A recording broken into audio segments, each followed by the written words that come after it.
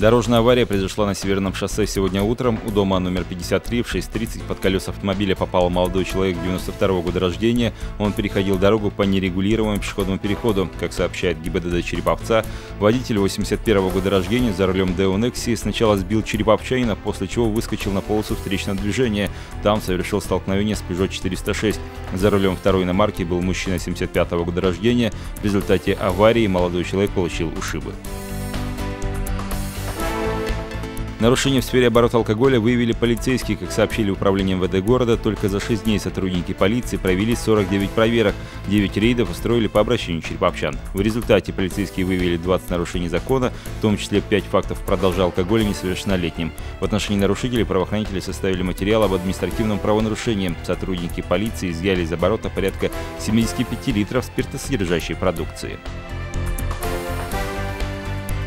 В Череповце сотрудники ППС задержали молодого человека, подозреваемого в незаконном хранении наркотических средств. Ночью полицейские заметили мужчину, который шел по дворовой территории, чуть приседая. В отделе полиции у череповчанина 96 -го года рождения нашли наркотические средства синтетического происхождения общей массой 2,5 грамма.